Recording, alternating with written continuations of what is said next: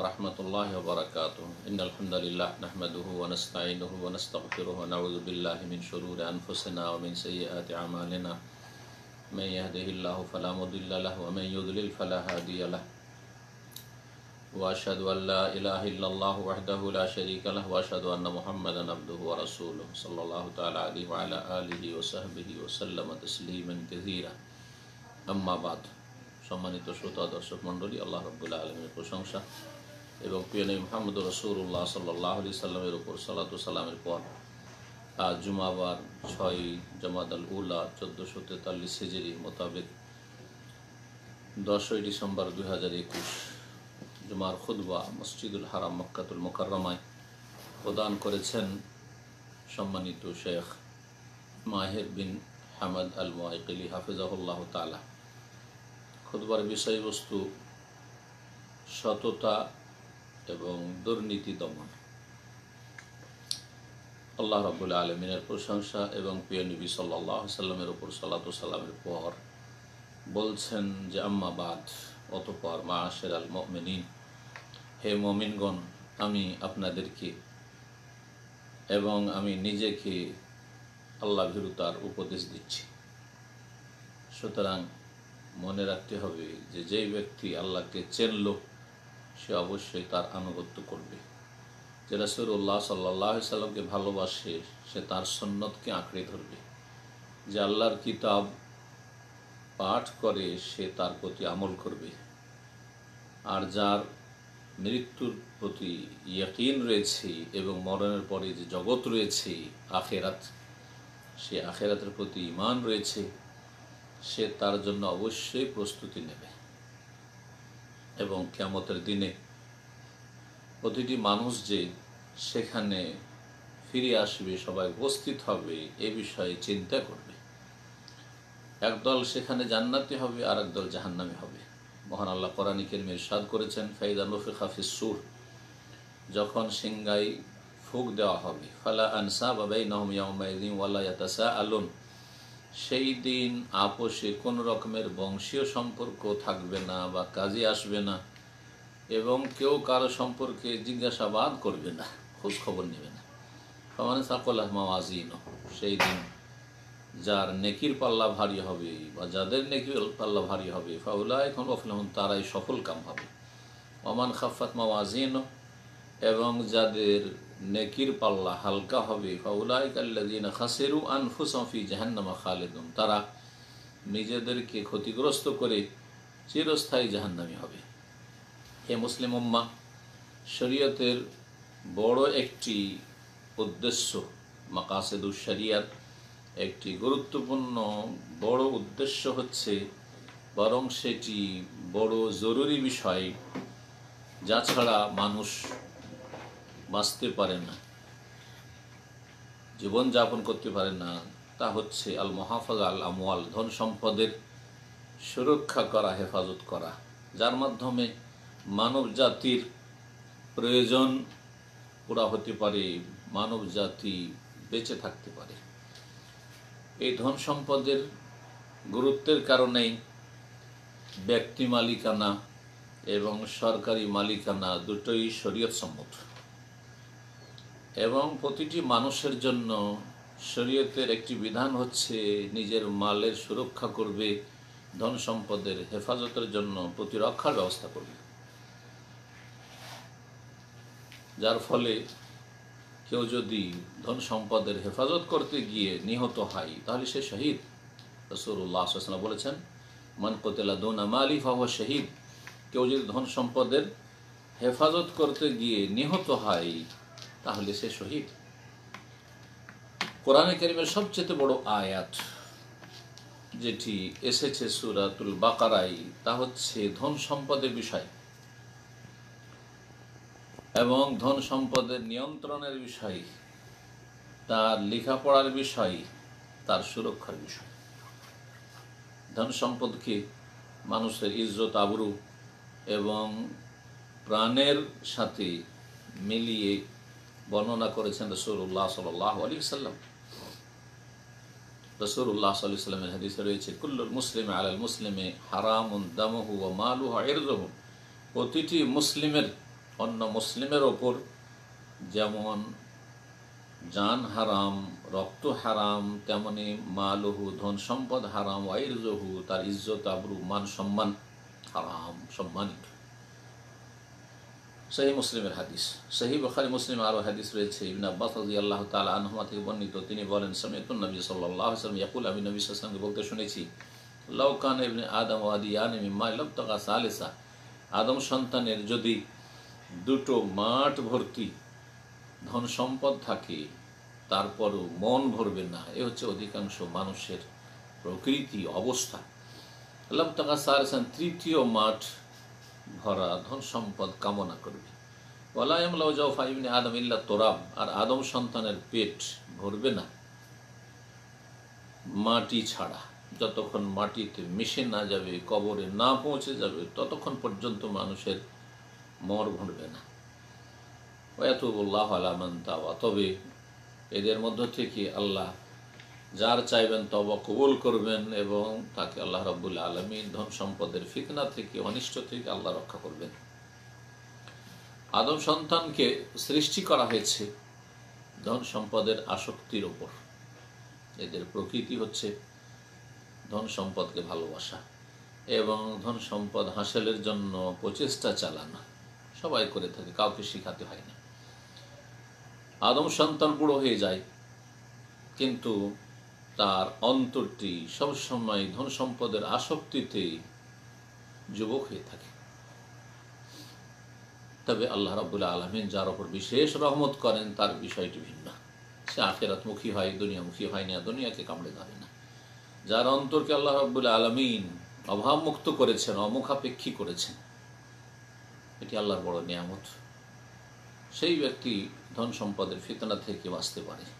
ধন সম্পদ সত্যিকার ফিতনা আল্লাহ রব যাকে চান তার বান্দাদের মধ্য থেকে, মানব জাতির মধ্য থেকে এই ধন সম্পদ দিয়ে পরীক্ষা করে থাকেন ফিতনাই নিমজ্জিত করে থাকেন।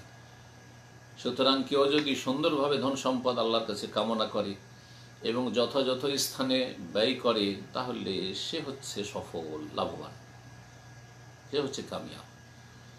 এবং সেই ধন সম্পদ তার বরকতের কারণ হবে, তার নেকি সবাবের মাধ্যম হবে। তার জন্য। আর তার যারা উত্তরাধিকারী ওয়ার ওয়ারিসিন রয়েছে, তাদের জন্য সেই ধন সম্পদ, সঞ্চিত সম্পদ হিসাবে এবং লাভজনক সম্পদ হিসাবে গণ্য হবে। তারাও লাভবান হবে।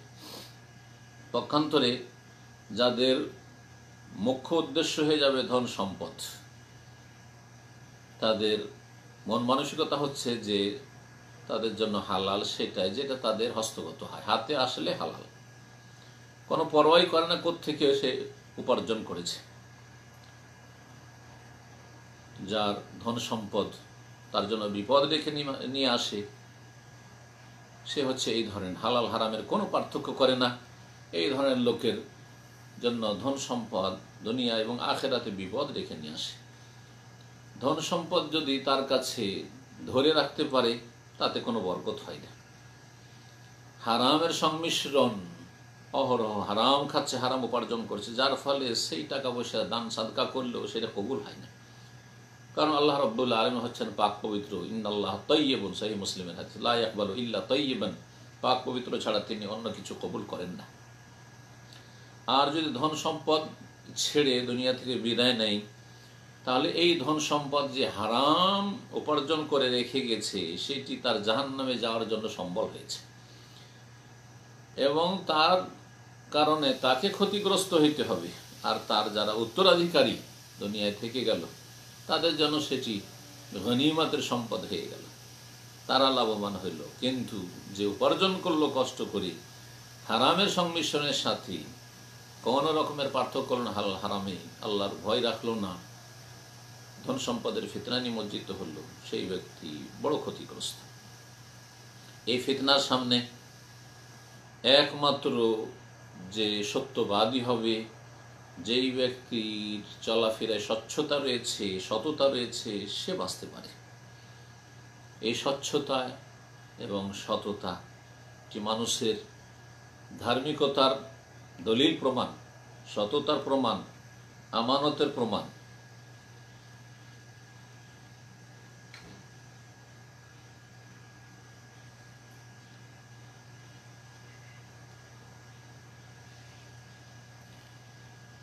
সুতরাং মনে রাখবেন যে এই ধন সম্পদের ক্ষেত্রে যদি স্বচ্ছতা থাকে, সততা থাকে, তাহলে তার মধ্যে আমানত রয়েছে, তার মধ্যে আল্লাহ ভীরুতা রয়েছে। যেই ব্যক্তি নিজেকে পাক পবিত্র রাখতে পারল, সেই ব্যক্তি নিকৃষ্ট লোভ লালসা থেকে নিজেকে দূরে রাখতে পারল এবং তার মান সম্মানের হেফাজত করতে পারল। আর সেই ব্যক্তি নিজের সচ্ছলতার যেসব উপায় উপকরণ রয়েছে, সেগুলি সে গ্রহণ করল এবং আল্লাহ রব্বুল্লা আলমী জিন রহমান তার সন্তুষ্টি অর্জন করল ধন সম্পদের মাধ্যমে। এই ক্ষেত্রে রসুল উল্লাহ সাল্লাহ আমাদের জন্য উত্তম আদর্শ। তিনি তার সাহাবাইকামদেরকে এইভাবে তরবিয়ত দিয়েছেন যে তোমরা সততা গ্রহণ করবে এবং স্বচ্ছতার জীবন যাপন করবে। সহি বুখারি মুসলিম হাদিস রয়েছে। হাকিম বিন হেজাম রাজি আল্লাহ তালাহ থেকে তিনি বলেন সাল তো রসুল আল্লাহ সাল্লাহ সাল্লাম ফাআতানি। রসুল উল্লাহ সাল্লাহ সাল্লামের কাছে আমি একবার কিছু চাইলাম, তিনি আমাকে দিলেন। সোম্মা সাল তহু তারপরে তার কাছে চাইলাম, তিনি আবার দিলেন। সোম্মা সাল তহু ফাআতানি, তারপরে চাইলাম, তিনি দিলেন। সোম্মা কালা, তারপরে বললেন যে হাকিম, হে হাকিম। ইন্না হাদ আল মালা খাজেরাতুন হলুয়া। এই ধন সম্পদ হচ্ছে বড়ই সবুজ সুন্দর এবং বড়ই মিষ্টি, বড়ই মধুর। ফামান আখাদাহ বে সাখাওয়াতে নাফসিন, কেউ যদি নিজের অন্তরের উদারতার সাথে, দানশীলতার সাথে তা গ্রহণ করে ও রেকালাহফি তাতে বরকত দেওয়া হয় তার জন্য। অমান আখাদ বেশা নাফসিন, কেউ যদি লোভী হয়ে ধন সম্পদ গ্রহণ করে, লম ইউবারাক লাউফি এই ধন সম্পদে কোনো বরকত হয় না। কাল্লাদি ইয়াকুল ওয়ালা ইয়াসবাহ যে ব্যক্তি খায়, কিন্তু পরিতৃপ্তি তার হয় না।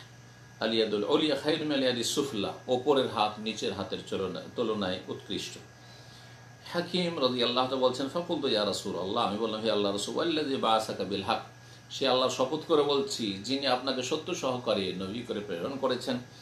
লা আরজাউ আহাদান বাদাকা শাইআন হাত্তা উফারিকাত দুনিয়া। আপনার পরে কারও কাছে আমি কোন রকমের ধন সম্পদ তরণ করব না, যতক্ষণ পর্যন্ত দুনিয়া থেকে আমি বিদায় না নিই। তারপরে হাকিম রাজি আল্লাহ তালানহ কোন ব্যক্তির কাছে কখনো চাইতেন না, যতই অভাবী হন না কেন রসুল্লাহ সাল্লামের পরে। রসুল্লাহ সাল্লাহ আলি সাল্লাম ইন্তকাল করলেন।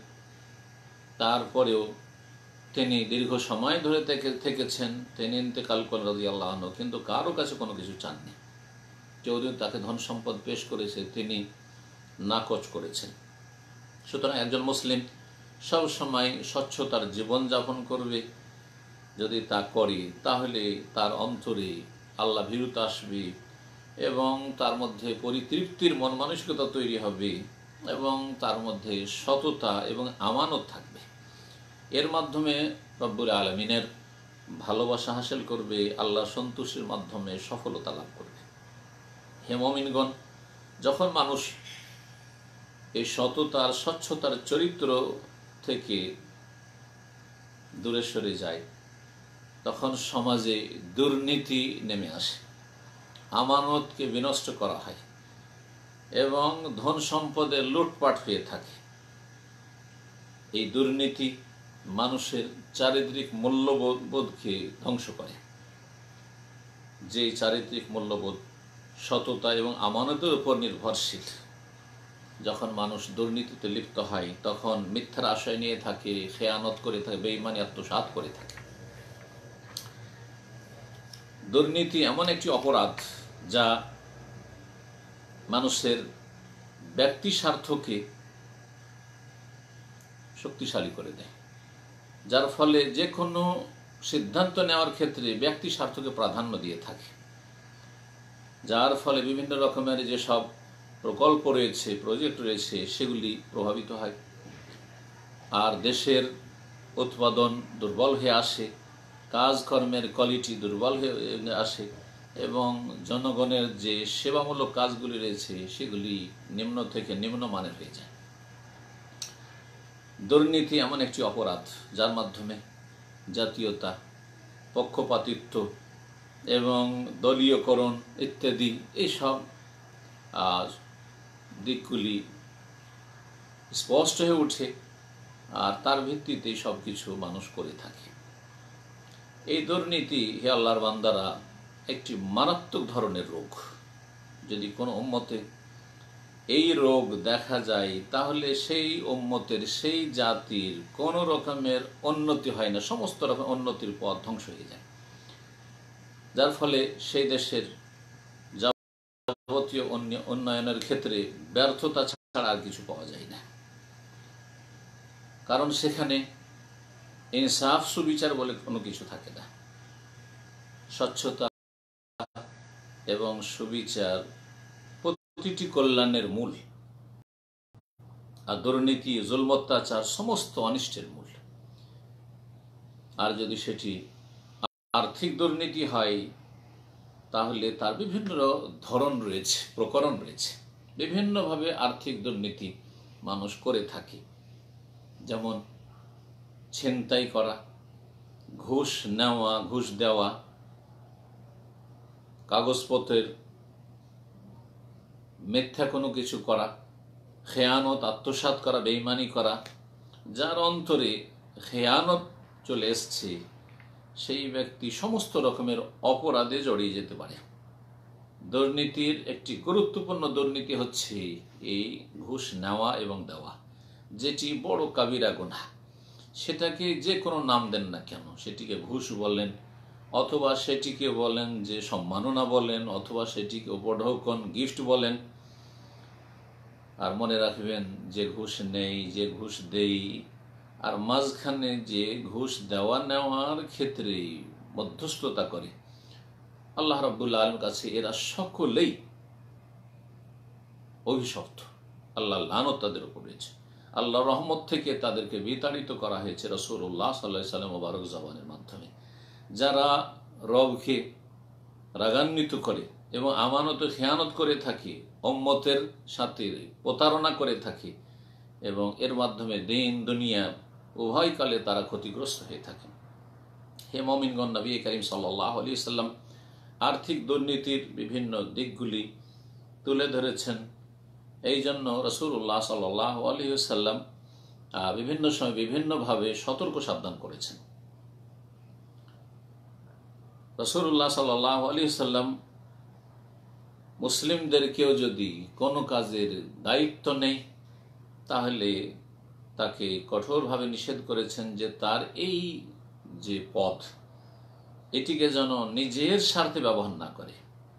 এবং রসুল উল্লাহ সাল্লাহ তার জন্য কিছু নীতিমালা নির্ধারণ করেছেন, যাতে করে বাইতুল মাল বা সরকারি ধন সম্পদের সুরক্ষার ব্যবস্থা করা হয়। সহি বখারিতে ইমামে আবু হুমায়দ সাঈদি রাজি আল্লাহ তালাতে বর্ণিত হাদিস রয়েছে যে নবী করিম সাল্লাহ আলী আসাল্লাম একজন ব্যক্তিকে সাদাকার জন্য নিযুক্ত করলেন। সাদাকা আদায়ের জন্য জাকাত আদায়ের জন্য। তারপরে সে যখন সাদকা জাকাত নিয়ে আসলো, এসে বলল হাজ আল্লাকুম এটা হচ্ছে আপনাদের সরকারি ধন সম্পদ জাকাতের ও হাজা ওহদি আলী আর এটা আমাকে উপঢৌকন হিসাবে দেওয়া হয়েছে।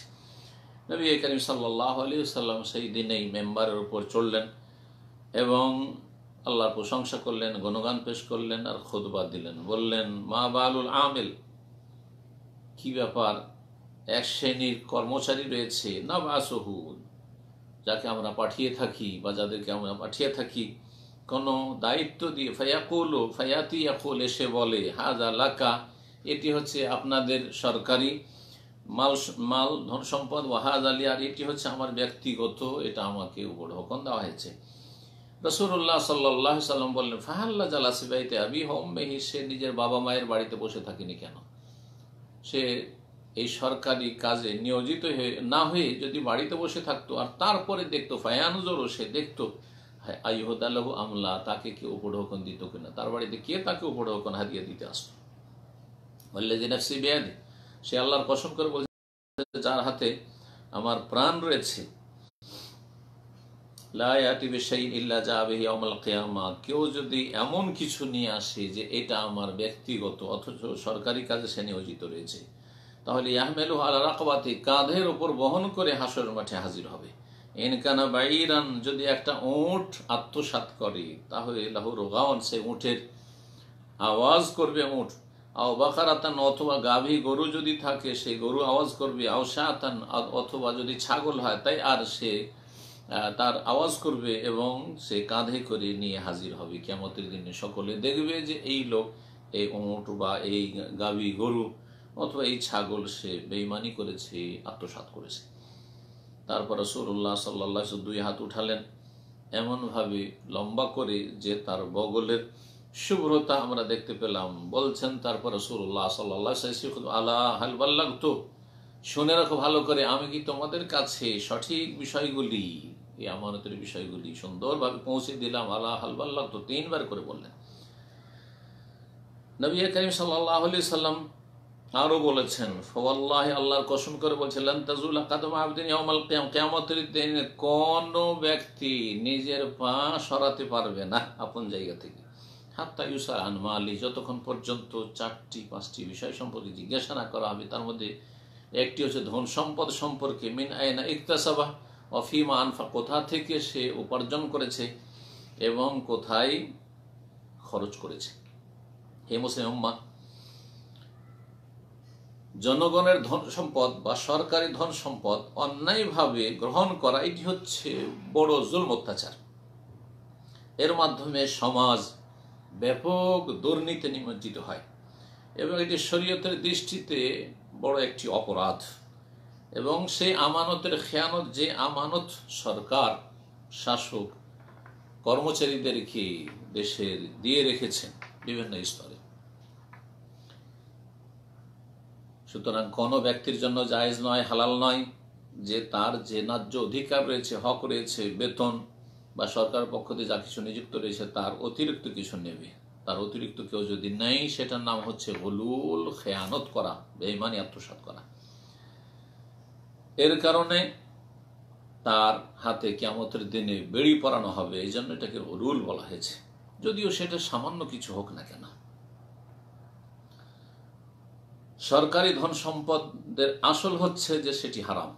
আসল হচ্ছে যে সেটি হারাম। আর এই সরকারি ধন সম্পদ হচ্ছে ইয়েতিমের ধন সম্পদের মতো। ইয়েতিমের ধন সম্পদের যেমন হেফাজত করতে হবে এবং ইয়েতিমের ধন সম্পদ থেকে কোনো কিছু নেওয়া যেমন হারাম।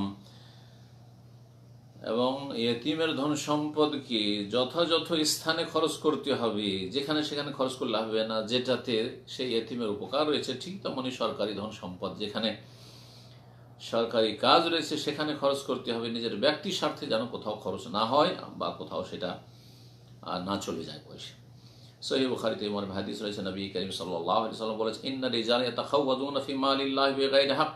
কিছু মানুষ এমন আছে যারা আল্লাহর ধন সম্পদে অর্থাৎ আল্লাহ রব্বুল্লা আলমী যে ধন সম্পদ ব্যক্তিকে দিয়েছেন অথবা কোনো দেশকে দিয়েছেন, সেটা জনগণের সম্পদ হোক, দেশের সম্পদ রাষ্ট্রীয় সম্পদ হোক অথবা কোনো ব্যক্তির কাছে আল্লাহ প্রদত্ত মাল হোক, তাতে কিছু লোকের আছে যারা স্বেচ্ছাচারিতা করে, অন্যায়ভাবে, যেখানে ইচ্ছা সেখানে খরচ করে, যেইভাবে ইচ্ছা সেইভাবে তারা তাতে নিয়ন্ত্রণ করে থাকে ফালাহমন্নার যারা এইরকম স্বেচ্ছাচারিতা করে আল্লাহর এই ধন সম্পদের আমানতে তাদের জন্য কিয়ামতের দিনে জাহান নামের আগুন রয়েছে। রহমতুল্লাহ এই হাদিসের ভাষ্য বলছেন বাতিল। মুসলিমদের ধন সম্পদে, জনগণের ধন সম্পদে, সরকারি ধন সম্পদে যদি অন্যায় পন্থাতে তারা নিয়ন্ত্রণ করে, সুতরাং জনগণের বা দেশের জাতীয় ধন সম্পদ লুটপাট করা, সেটা কম হোক আর বেশি হোক, এটি হচ্ছে বড় কাবিরা গুনা এবং এই বড় কাবিরা গুনহা এত বড় অপরাধ যে যার ফলে আল্লাহ রাস্তায় জেহাদ করার পরেও সেই নেকি নষ্ট করে দেয়। শহীদ আল্লাহ রাস্তায় বাহ্যিক হলো, কিন্তু তার শাহাদাত আল্লাহর কাছে মনোজোর হয় না, সেই ব্যক্তি শহীদ হয় না, বরং জাহান্নামে যেতে হয়।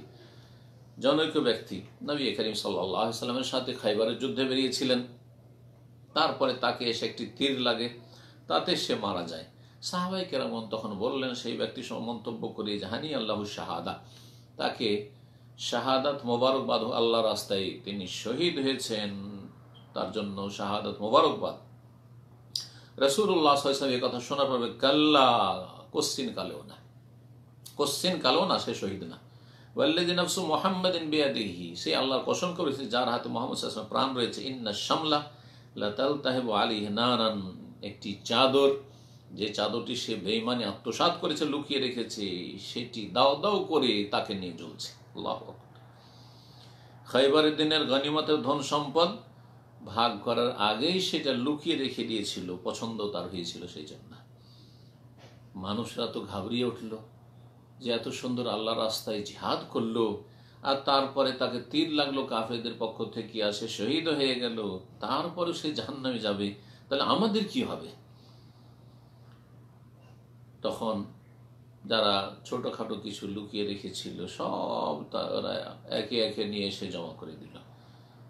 কেউ একটা স্যান্ডেল, জুতার ফিতা লিখে রেখেছিল, প্রয়োজন মনে করেছিল রেখে নিয়েছিল যেটা ছোট জিনিস, কেউ দুটো স্যান্ডেলের ফিতা রেখেছিল, জুতার ফিতা রেখেছিল, সব ফিরিয়ে দিল। এসব বলছে রাসুল আল্লাহ আসাম তো ইয়মা খাইবার, খাইবারের দিনে এটা আমি পেয়েছি। রসুল্লাহ সাল্লাম বললেন না, এই কথা যে এটা তুচ্ছ জিনিস এটা স্যান্ডেল, জুতার ফিতা অসুবিধা নেই, নিয়ে যাও, এই কথা বললেন না। বললেন সেরা মিন্নার আও সেরা কান মিন্নার, যারা একটি ফিতা চুরি করেছ, রেখে নিয়েছ, গণিমতা ধন সম্পদ ভাগ বন্টন হওয়ার আগে সেটাও জাহান নামে নিয়ে যাবে এবং যে দুটো চুরি করে সেই দুটো জাহান নামে নিয়ে যাবে। সহি বখারি মুসলিম হাদিস। নবী করিম সাল্লাহ আলী সাল্লাম কাব বিন উজরা রাজি আল্লাহ তালানহ সাহাবিকে এই হাদিসটি সম্বোধন করে বলেছেন, ইয়া কাব ইবিন ওজরা হে কাব বিন ওজরা ইন্নাহু লা ইয়ারবু লাহমুন নাবাতামিনা মিন সহতিন ইল্লা কানাতিন নার আউলা বিহি। যে কোনো গোস্ত যদি হারাম খেয়ে বৃদ্ধি হয়, শরীরে ওজন বাড়ছে, রক্ত, মাংস বাড়ছে, হারাম খেয়ে, তাহলে জাহান্নাম তার বেশি অধিকারী। তিরমিজিতে এই হাদিসটি রয়েছে। শেখুল ইসলাম তাইমা রহমতুল্লাহ আলী বলছেন এটা এই জন্য হারাম ভক্ষণ করলে যে জাহান্নামে যেতে হবে সেই দেহকে, এটা এই জন্য যে লিয়ান্না তো আমার ইখালেতুল বাদান ওয়াইমাজে জহু ওয়াইম্বতু মিনহু। কারণ দেহতে যখন হারাম খাবার যায়, সেটা তাতে মিশে যায়, একাকার হয়ে যায় এবং তার মাধ্যমে শরীর পুষ্টি হাসিল করে। তাহলে তাতে যে হারাম খাওয়ার কারণে কি থাকল, তাতে হারাম পদার্থ থেকে গেল। যখন এইটা হবিস থেকে গেল তার মধ্যে, তখন তার শরীরটা হবিস হয়ে গেল। যার ফলে এই হবিস নোংরামি নিয়ে শরীরে নোংরামির সংমিশ্রণ রয়েছে, এই নিয়ে জান্নাতে যেতে পারবে না, জাহান্নামে যাওয়া তার জন্য আবশ্যক হয়ে যাবে। জাহান্নামে যাবে, তারপরে পাক পবিত্র হবে জ্বলে জ্বলে, তারপরে তার তৌহিদ ইসলাম যদি ঠিক থাকে, কখন ফিরে আসবে। এই জন্য নবী করিম সাল্লাহ আলী সাল্লাম বলেছেন আরেকটি হাদিস, কুল্লু জিসমিন নাবাতামিনা মিন যে কোনো দেহ যদি হারাম খেয়ে বৃদ্ধি পায়, তাহলে জাহান্নাম তার বেশি হক রাখে। জান্নাত হচ্ছে পাক পবিত্র। সেই জান্নাতে একমাত্র পাক পবিত্র ব্যক্তি প্রবেশ করতে পারবে। সুতরাং কারও মনে যদি দুর্বলতা চলে আসে, আর সে কুপ্রবৃত্তি আর শয়তানের অনুসরণ করে আর জনগণের অথবা জাতীয় ধন সম্পদ থেকে কোনো কিছু অবৈধভাবে যদি নিয়ে থাকে, তাহলে তার জন্য তওবা করা ফরজ। এবং ধন সম্পদ সরকারি ফান্ডে ফিরিয়ে দেওয়া ফরজ। যা যে নিয়েছে, যতক্ষণ পর্যন্ত সেটি সেই আমানত আদায় না করে, ততক্ষণ পর্যন্ত সে হাতের, যে হাত দিয়ে গ্রহণ করেছে, তার পকড়াও হবে। সুতরাং জাতীয় সম্পদের হেফাজত করা ফরজ এবং তার সুরক্ষার বড় গুরুত্ব রয়েছে এবং তার সাথে অনেক হক জড়িত রয়েছে। সরকারি ধন সম্পদ দেশের প্রতি নাগরিকের অধিকার তাতে রয়েছে। এবং তার মালিক শুধু একজন নয় যে একজন ক্ষমা করে দিলে হয়ে সুতরাং আল্লাহকে ভয় করুন এবং যে কোনো ছোট বড় বিষয়ে আল্লাহ রব্বুল্লা আলমিন সব কিছু দেখছেন, এই কথার ইয়কিনকে শক্তিশালী করুন যেটির নাম হচ্ছে মোরাকাবাহ, যে আল্লাহ রব্বুল্লা আলমিন মোরাকাবা হচ্ছে। বান্দার হক আল্লাহ মাফ করেন না। বান্দার হক বান্দার কাছ থেকেই মাফ নিতে হবে। পক্ষান্তরে আল্লাহ রব্বুল্লাহ হকের ক্ষেত্রে হচ্ছে মোসামাহা যে আল্লাহ মাফ করে দিলে হয়ে গেল। আল্লাহ রাবুল আলমিন ক্ষমাশীল, গফুর, রাহিম, সুতরাং সুতরাং তিনি যেমন মানুষের দোষ ত্রুটি ঢেকে রাখেন, তিনি ক্ষমা করেন, তিনি উপেক্ষা করেন। এবং যা কিছু মানুষের ঘটে থাকে, আল্লাহ রব্বুল আলম অনেক মাফ করেন। পক্ষান্তরে বান্দার হকের ক্ষেত্রে যতক্ষণ পর্যন্ত বান্দাদের কাছে ক্ষমা না নেবে, তাদের থেকে মুক্তি লাভ না করে ততক্ষণ পর্যন্ত বাধা থাকবে। আল্লাহ যেন আমাদের হেফাজত করেন। জ্ঞানী ব্যক্তি আল্লাহকে ভয় করবে, সে কি গ্রহণ করছে আর কি ছাড়ছে। এবং সবসময় স্মরণ রাখবে নবী করিম সাল্লা সাল্লাম এই সতর্কীকরণের বিষয়গুলি যে কিয়ামতের দিনে লাঞ্ছিত, অপদস্থ হইতে হবে হাসর মাঠে। আর ভাগ্যবান ওই সব মানুষরা যারা আমানতের হেফাজত করল, হালাল ভক্ষণ করল এবং ভালোভাবে সুন্দরভাবে লেনদেন করল, কথা বলল, তো সততার সাথে কথা বলল এবং মানুষকে নিজের অনিষ্ট থেকে নিরাপদ রাখল। রসুল্লাহ আল মুসলিম সত্যিকার মুসলিম ওই সব লোকেরা যাদের জবান এবং হাতের অনিষ্ট থেকে অন্য অন্য মুসলিমের অন্যান্য মানুষ নিরাপদ থাকে। আউজবিল্লাহ সুইয়ান আলিনাস হব্বু শাহওয়াত মিনান নিসাই ওয়াল বানিন ওয়াল কানাতির মুকান্তারাত মিন আল-যাহব ওয়াল ওয়াল মুসাওয়ামাত ওয়াল আনআম ওয়াল হারথ আল আয়া আল্লাহ রাব্বুল সূরা বাকার আয়াতগুলোতে মানুষকে, মানুষের সামনে যে সুসজ্জিত করা হয়েছে, সে মনের চাহিদার যে বিষয়গুলি, সেগুলির আসক্তি, সে নারী হোক, নারীর আসক্তি তারপরে ছেলে মেয়েদের আসক্তি, মানুষ ছেলে মেয়েদেরকে ভালোবাসে, ঠিক তেমনই অজস্র ধন সম্পদ, স্বর্ণ, চাঁদি, এইরকমই ঘোড়া, এইরকমই গবাদি পশু আর ক্ষেত খামার, এগুলি মানুষ ভালোবাসে। আলেকামা তাউল হায়াতির দুনিয়া, এগুলি যে পার্থিব জীবনের ক্ষণিকের ভোগের বস্তু। আল্লাহ ইন্দা হুসুন মাব এবং আল্লাহর কাছে উত্তম প্রত্যাবর্তন স্থল। সুতরাং আল্লাহর কাছে ফিরে যে ভালো পাবেন কিনা, এটা আমাদেরকে দেখতে হবে। আল্লাহ তারপর বলছেন, এর চাইতে এসব দুনিয়ার যে শোভা সৌন্দর্য, এর চাইতে ভালো, উৎকৃষ্ট কোনো কিছু সম্পর্কে তোমাদেরকে জানিয়ে দেব কি? কুল আও নব্বেকুম যালিকুম লিল্লাযিনা তাকাও এটা ওই সব লোকদের জন্য যারা আল্লাহ ভীরু, আল্লাহকে ভয় করেছে। ইন্দারবিম জান্নাত, তাদের রবের কাছে তাদের জন্য এমন বাগান বিশিষ্ট জান্নাত রয়েছে, যে যার নিম্ন দেশে নহর নদী নালা প্রবাহিত রয়েছে। খালে দিন আফিহা সেখানে চিরকাল শান্তির সাথে বসবাস করব আজওয়াজ মোতাহারা, সেখানে পবিত্র জীবন সঙ্গিনী রয়েছে। ওয়ারিদওয়ান ও মিন আল্লাহ এবং আল্লাহর পক্ষ থেকে সন্তুষ্টির ঘোষণা রয়েছে। আল্লাহ ওসির বিল হেবাদ আল্লাহ রব্বুর বান্দা সম্পর্কে সম্যক দ্রষ্টা সব কিছুই তিনি দেখেন, জানেন। হে মমিনগণ, মানুষের আমানতের যে বিষয়টি রয়েছে, এটি সংস্কার নিয়ে আসে। এটি মানুষের জন্য সম্মান এবং মর্যাদার মাধ্যম। আল্লাহ রব্বুল্লা আলম এই আমানতের হেফাজতের নির্দেশ দিয়েছেন। আমানত রক্ষণাবেক্ষণের আল্লাহ রব্বুল্লাহের হুকুম প্রদান করেছেন এবং আমানত আদায় করা এবং আমানত যথাযথ সুরক্ষা করা আল্লাহ ফরজ করেছেন। এই আমানত রক্ষা করা হচ্ছে আম্বিয়া রসুলগণের বৈশিষ্ট্য। তারা এই আমানতের সাথে রবের পেগাম মানব জাতি পর্যন্ত পৌঁছে দিয়েছে। মানব জাতির ওপর আল্লাহর হজ্জত প্রমাণ প্রতিষ্ঠিত করেছেন। এমন কোন নবী ছিলেন না যারা বলেননি, প্রতিটি নবী কথা বলেছে, ইন্নি লাকুম রসুল আমিন। আমি তোমাদের উদ্দেশ্যে বিশ্বস্ত আমানতদার রসুল হয়ে এসেছি। ফত্তাকুল্লাহ আতিয়ন সুতরাং আল্লাহকে ভয় করো এবং আমার কথা তোমরা মেনে নাও, আমার আনুগত্য করো। নবী করিম সাল্লাহ সবচেয়ে উত্তম আমানতদার ছিলেন, এমনকি দুশ্মনরাও, শত্রুরাও সাক্ষী দিয়েছে। এই জন্য নবী করিম সাল্লাহ ইসলামের নবদ প্রাপ্তির পূর্বে চল্লিশ বছর বয়সে যখন নবী হন, তার আগে তাকে মক্কার কাফের মুশ্রিকরা, তারা আসাদুল আমিন বলত, সত্যবাদী এবং বড় আমানতদার বিশ্বস্ত বলে তারা উপাধি দিয়েছিল। সহি বুখারি মুসলিম হাদিস রয়েছে আব্দুল আব্বাস রাজি আল্লাহ তালা আনমা থেকে বর্ণিত।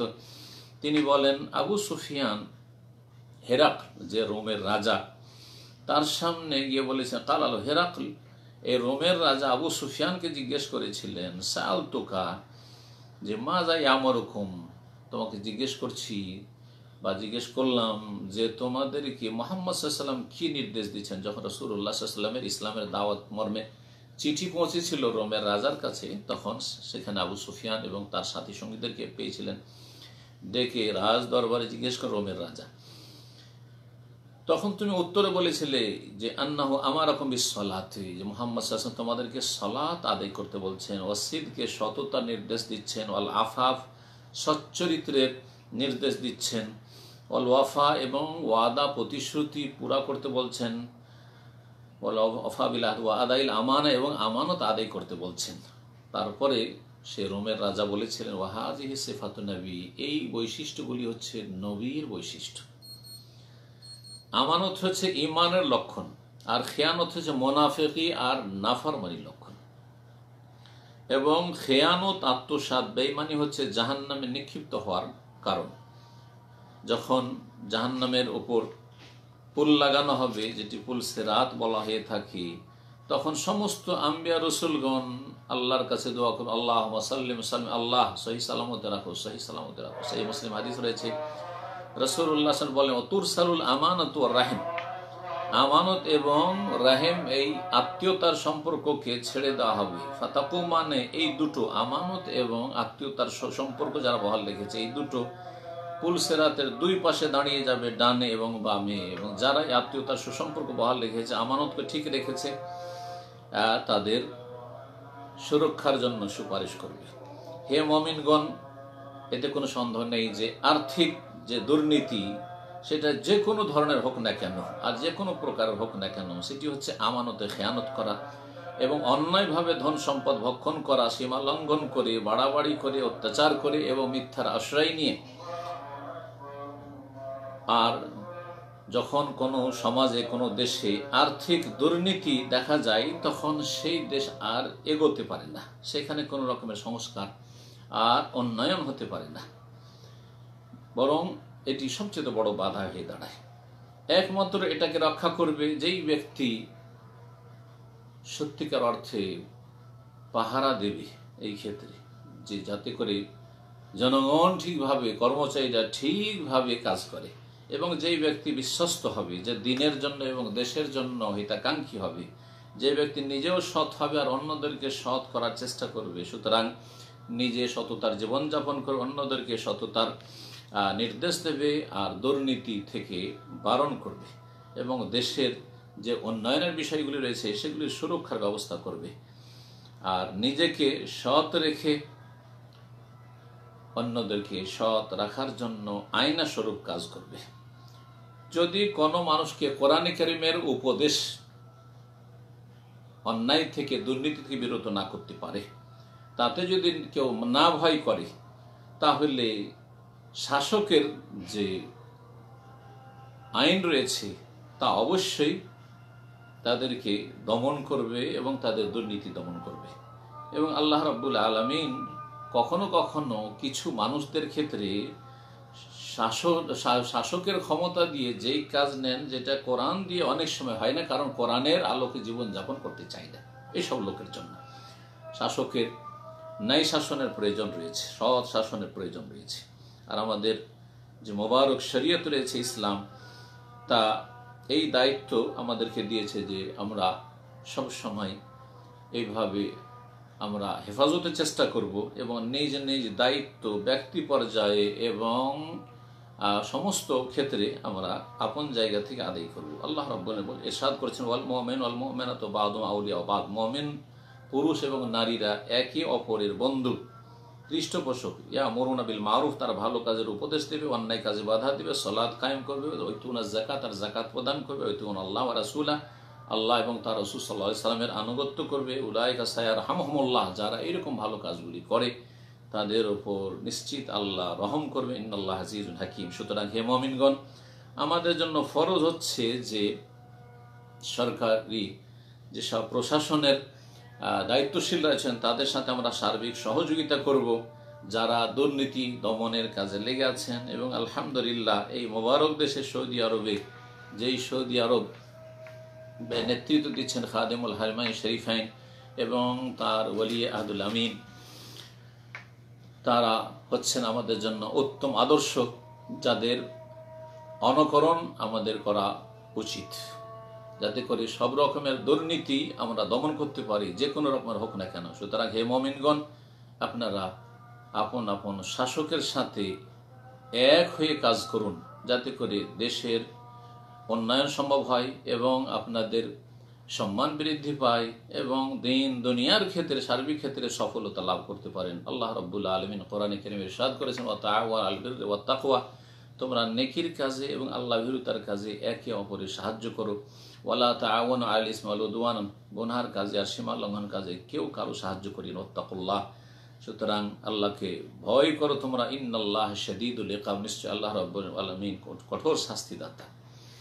তারপরে খুদবার শেষে সম্মানিত খতিব বলছেন যে ওসল্লু রাহিমাকুমুল্লাহ, আল্লাহ আপনাদের রহম করুন, সলাত সালাম পেশ করুন আল্লাহ খাইরিল বারিয়া, যিনি সৃষ্টি সেরা এবং মানব জাতির সবচেয়ে পবিত্র ব্যক্তিত্ব মোহাম্মদ বিন আবদুল্লাহ সাহেবুল হাউজ ও শাফা, যিনি হজ শাফাতের অধিকারী, যাকে আল্লাহ রব্বুল আলমিন হজ দেবেন, শাফাতের অধিকার দিবেন তার শাফাত যেন আমাদেরকে দান করেন, তার হাউস থেকে আমাদেরকে আল্লাহ যেন দান করেন। আল্লাহ রব্বুল আলমিন সাল্লাহ সাল্লামের নির্দেশ দিয়েছেন।